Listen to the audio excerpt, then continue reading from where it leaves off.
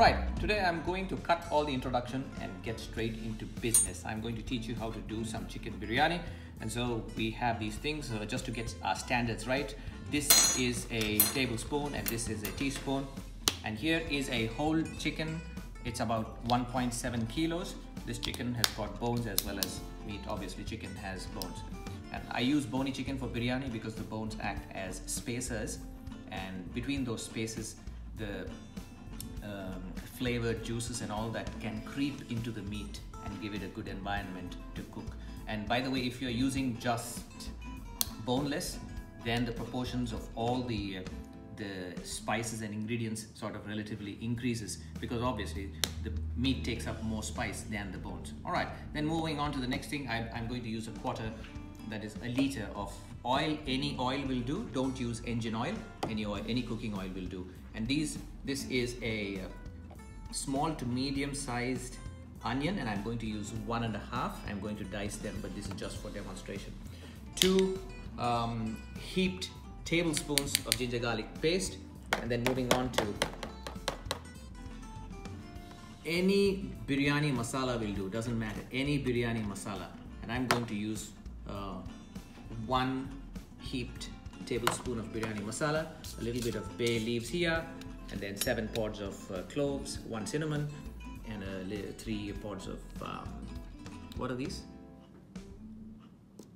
Cardamom. cardamom. All right. I put these these are not necessary but i put these because people will know that you actually put some ingredients. Otherwise the biryani will actually look uh, feel uh, feel very tasty but you won't see any ingredients and that's why i put these and i'm going to use two heaped uh, teaspoons of chili powder and half a table uh, half a uh, teaspoon of turmeric two flat tablespoons of uh, salt just for the chicken and half a flat of tablespoon uh, salt for the rice. Because here we got mint leaves for flavor. You can add as many as you want. And then uh, for come back to the chicken come back to the chicken here as I said this chicken is 1.7 kilos. So generally people put equal weight of rice to the chicken but we want more meat and less rice. So I will just put one kilo of rice for this which I have not showed in this ingredient section of this video. All right. Yeah so I put the onions in the oil and the onions are frying yeah. Now if you notice these onions are not raw. They have been fried a little bit. And they are not completely fried like you would fry them for a chicken curry. It, it, they've just reached one-fourth way to being fried if you were to make it for chicken curry. At this point I'm going to add some the ginger garlic paste that I mentioned. One heap teaspoon uh, tablespoon there and then another half for the remaining half kilo so that's ginger garlic paste now added. Why I add the ginger garlic paste to the onions is that the onions form a scaffold on which the, the ginger garlic paste rests and it will be it will fry more uniformly without getting stuck to the bottom. And then now I fry both of these things together so that the onions will reach halfway through frying and ginger garlic paste will reach one-fourth through frying if you were actually going to fry these for chicken curry. So you understand, right? So I'm not going to fry them too much.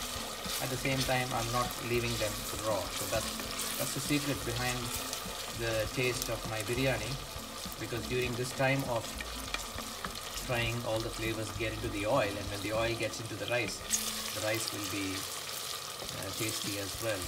And of course because I've done this little bit of frying the chicken also will be tasty. Alright. Now if you notice the combined onion and ginger garlic paste have reached or just about to cross halfway through being completely fried if you were to fry them for chicken curry. At this point in time I'm going to put the stove in real real lowest simmer mode. And and then add the leaves add the clove